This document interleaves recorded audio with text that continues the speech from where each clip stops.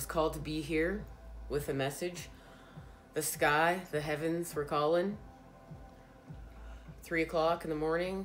Actually, this is what time they call every day.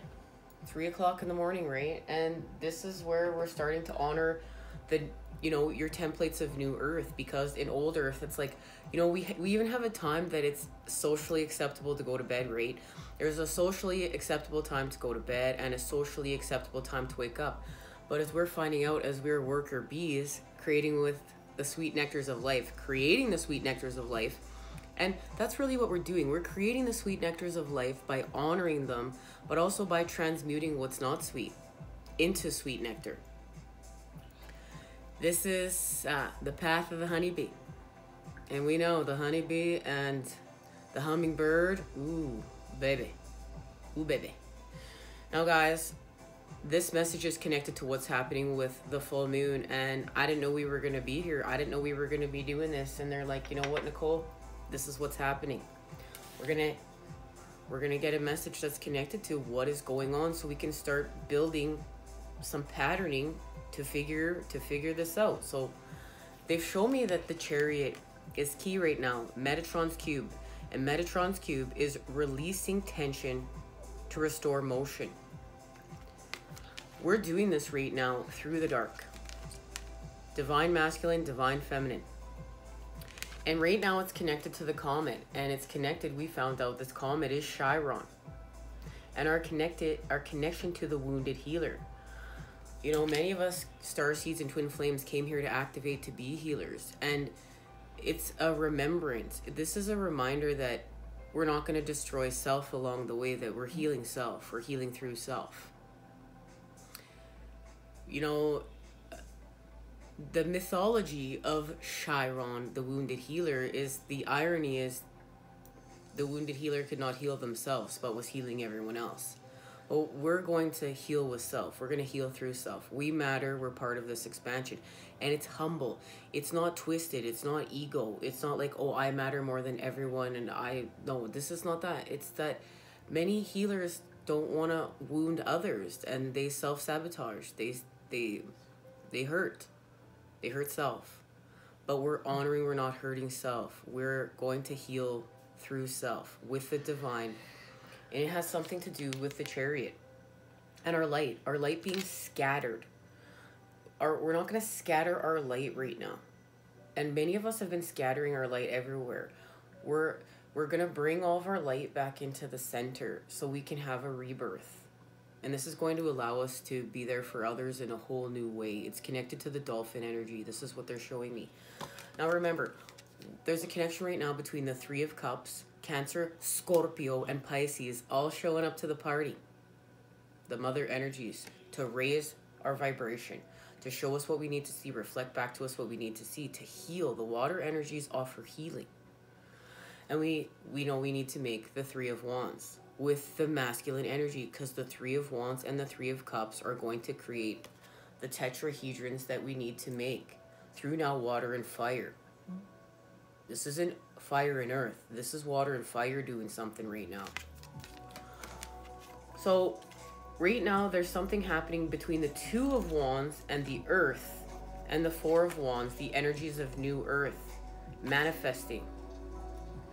And it's a connection to, as you see, like flowers. There's flowers in here. There's a connection to life. There's a connection to nature.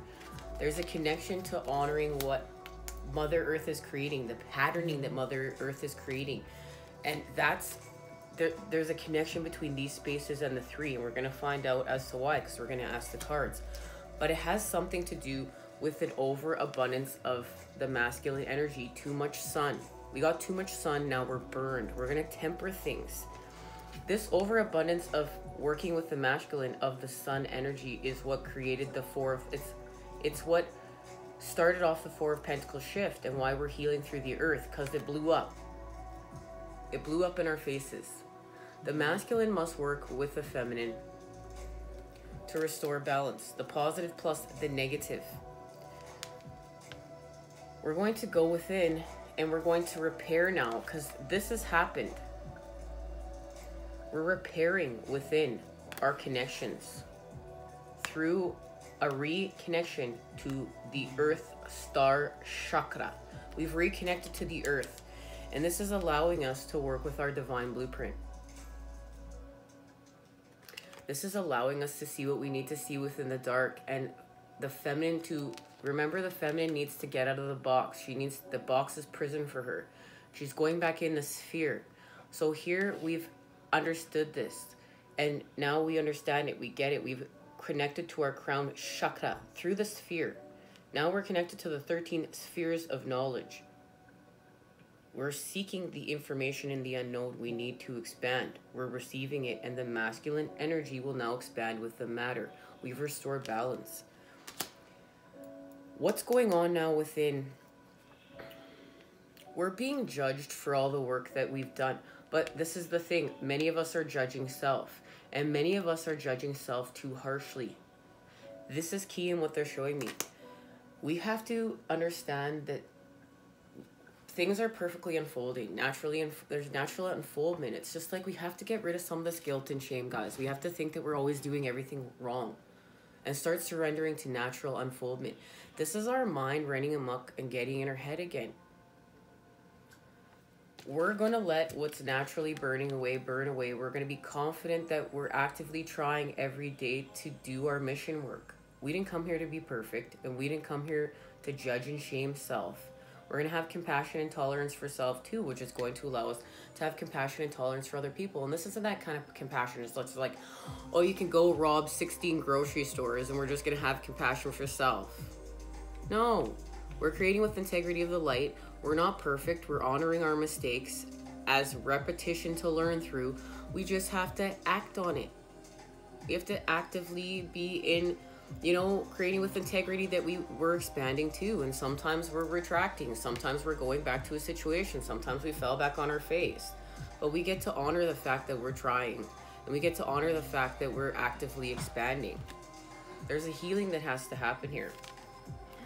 But what's happening within judgment is we're restoring balance. All this work we're doing to heal from the devil energies, it's going to pay out. Hello. another message is coming through too, guys. And obviously, my son was supposed to stop me there for a minute so that I could see it. We gotta let the past burn away because this is connected to the unspoken languages. And something to do with the unspoken languages of what burns away, it's going to communicate with us. What is being burnt away is going to communicate with us what we need to see next.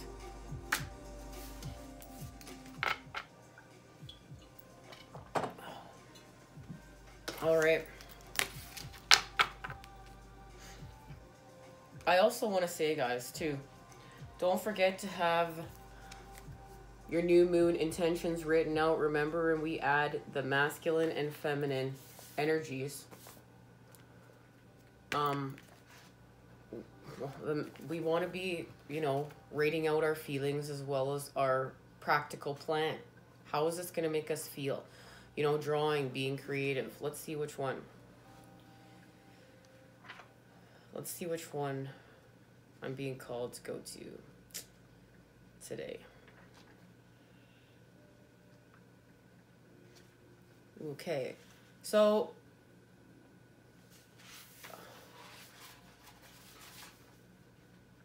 wow, that was a big one.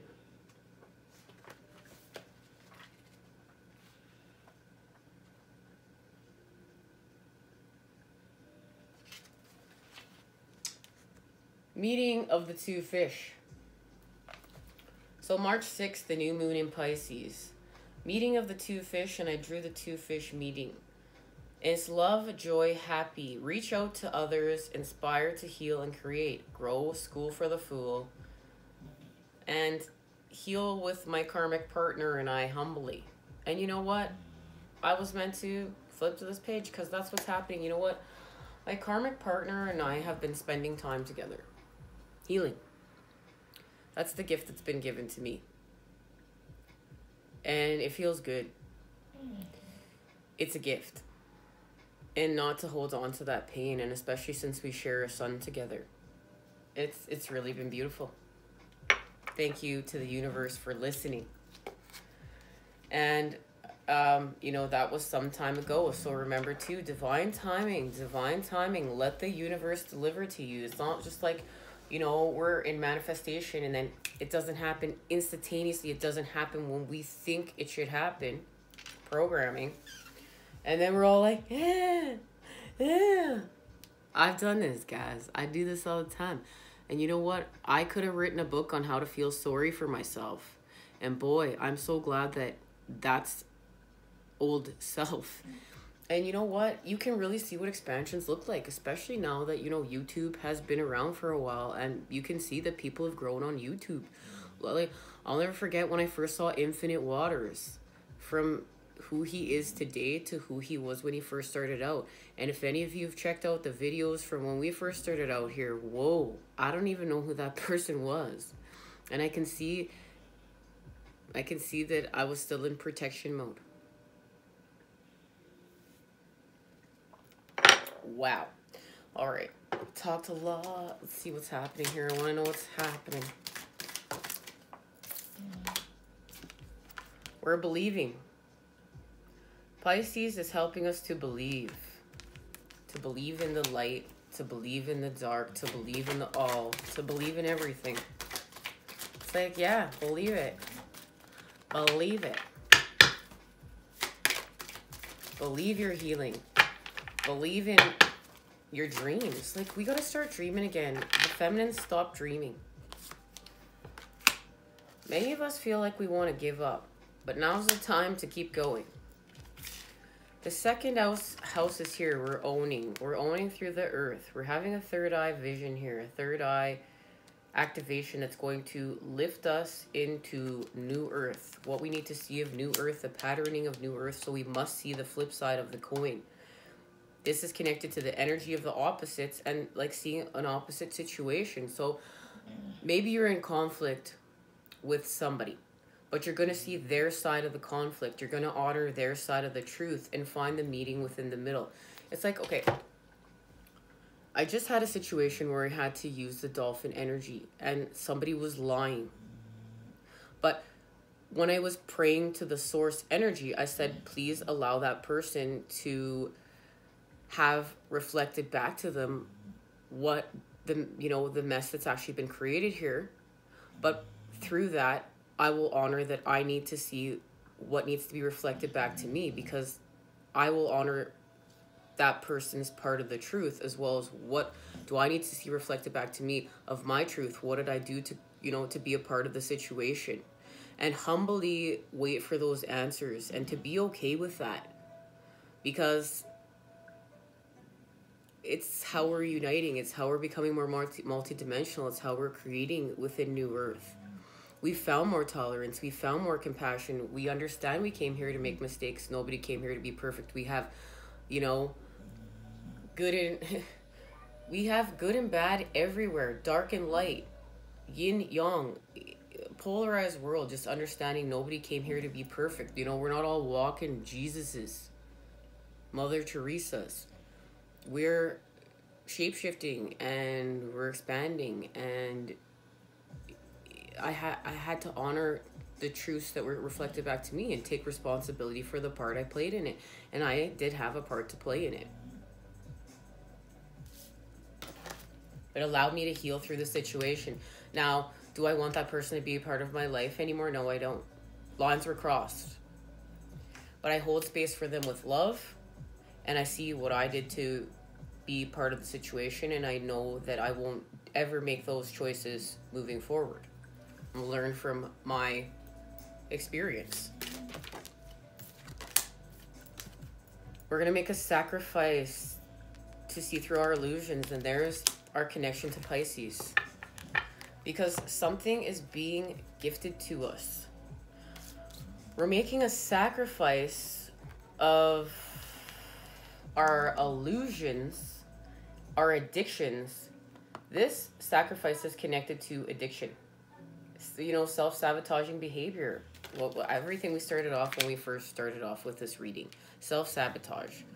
We're not going to self sabotage. We're connecting to the energies of New Earth, Aquarius. We're going to heal with the star. We're going to heal with the water energies. But we're going to add some air to dry things off. The sword's energy. We're going to dry it up quick. And the Grand Cross is here, the provoker. And we, of course, we're being provoked to finish paying off our life's debts, to finish balancing our karmic scales, to have our endings.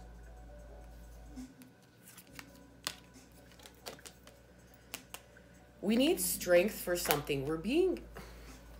They showed me within this tarot that we're facing a situation, the shadow energies, whatever is happening with us and our transformations with strength. Okay, guys, so while I was shuffling, this is the message that they just showed me. We need our strength. We need our strength to face ourselves, to face our ego, to face what's happening here. This alchemy between this part of ourself, the beast part of ourself, the animalistic part of ourself, and the light part of ourself, you know, and remembering that we're light and dark. And, you know, we're a combination of both. And, you know, this is really three things that's what they're showing me is the representation. Remember, we're multi-dimensional. We're more than one thing. Destroying to create, creating to destroy. This is connected to the world, and they've shown me this is the coming together of the masculine and feminine. And it's happening in the 3D. And what it is, it's it's because we've picked healing. We're healing and we're listening to the unspoken energies here. These unspoken energies are connected to air, what we can't see, but we're transforming with them. And it has something to do right now with the Three of Cups. This message will be connected to the Three of Cups and the creation of the Three of Wands. Because that's what we're doing here. And we know these three cups are connected to the two. And look, the two are being full filled right now by the connection to the Ace of Cups. And La Luna is helping us to do this. What the masculine is doing right now, so this is the feminine. This is our connection to Scorpio, Cancer, and Pisces, okay? And they're working together to help us fill these cups right now.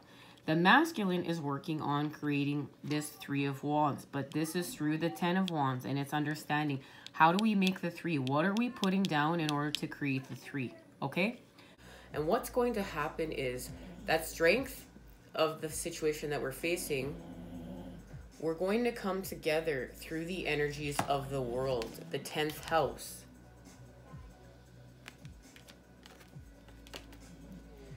It's time for something. It's time for something, and we're going to find out what it is.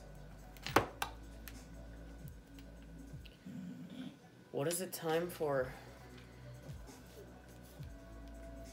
Okay, being called to use this deck. What is the time for?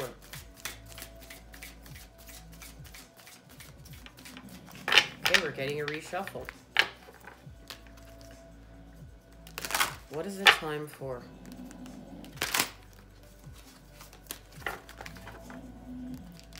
What is it time for?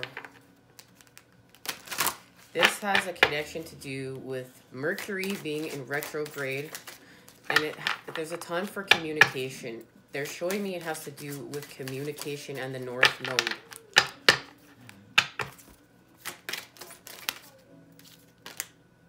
The fourth house are roots. We know that there's a recalibration happening here through the earth. That's our connection to the four of pentacles. Oh, great, guys. Wow, this card really... Mm, course. Let's just show that. And then we're going to discuss what has happened here because there it is.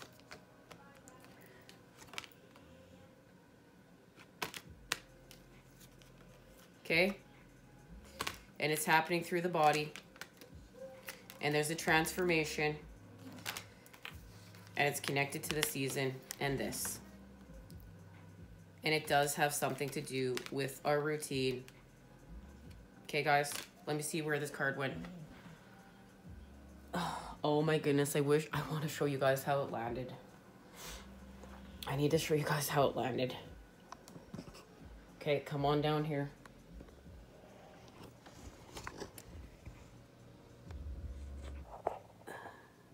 There it is. Right here, let's find out together. It's guys, it's the ninth house. Having faith. We're gonna discuss this right now. Let me get resituated and sit on down. Guys, the divine exists. And you know what? These are the moments I wish you guys were just here with me so you could see this all go down. But this is honoring that this is my path here, sharing it with you guys as we join together to heal, harmonize, and raise the vibes. As you can see, the ninth house is number 33, a manifestation number, a number that we are using connected to mastering of self. 33 is a master number. We travel, some of us forever, to seek other states, other lives, other souls. Now, I wanted to show you guys the cards on the bottom of the deck first because I was called to do so. In seeing that it was the ninth house, I wish we just would have gone straight there because everything was answered, but the messages were supposed to come out exactly how they were, and I need to honor that, okay? Perfection is artificial, natural is natural unfoldment. The ninth house in astrology is the house position for the sign Sagittarius. Look at that. We're going to hit our mark. We're going to hit our aim. We are adding the positive to the negative. This is our connection to the Nine of Wands. This is ruled by planet Jupiter, the planet of openness, luck, and expansion. This area of the traditional horoscope wheel is the house of travel, philosophy, high mindedness, and also religion. The ninth house represents a search for meaning through established structures. Things to do with government and religion may come up about whenever the ninth house is included, and this is what we're healing from government and religion, and where things got warped and twisted through corruption. Destiny, fate, and karma will all come into play, as well as your view of what God may or may not be. This is the house of erudite knowledge. And guys, this means we have great knowledge in learning, in expansion, okay? Of higher learning lawyers, doctors, and astrologers. It is most definitely of the higher mind and our need to unite with something greater. And this is what we're doing. Through our times of old earth breaking apart and being put in separation, we are uniting with something greater. We're uniting with source energy, God, creation, through the ninth house, through our faith, representing churches, schools, especially ones that are old, established and scholar scholarly. Because, guys, this is the site that opposes the third house of communication and rating.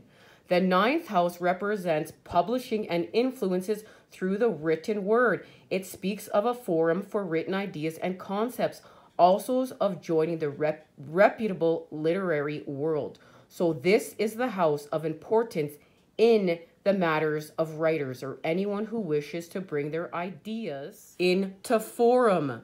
Usually, planet wide, it is the house of open ranges, journeying, and opportunity, representing the esoteric matters like psychics, psychic fairs, the new age, counterculture, gatherings, or places where offbeat people gather together for some visionary cause. It also represents the relevance of obtaining psychic information. Look at this, guys. This is, we're going to broadcast what we've been doing. We're going to re-rate things. This is re-rating things from the old to the new. Through our education system, through our, you know, here we heard law, schools. it's beautiful. Occasionally, this indicates a temporary disconnect from close family where you depart from your known life into another one as a pilgrim or a seeker. And this is where things, we're going to drop the mic, okay, guys? Look at this. Corresponding tarot card. The Three of Wands. We've done it. We've created the Three of Wands. Wow. That's all I'm going to say is wow. The divine is real. This is going down. And you know what, guys? Let's see what our connected messages are. And let's say a special thank you to the Black Moon Astrology cards by Susan Shepard for helping us to receive this message today, guys. Lit just lit. Happiness all the which way around. Thanks for joining us, guys. There's going to be a link for part two down below in the description. See you there, everyone.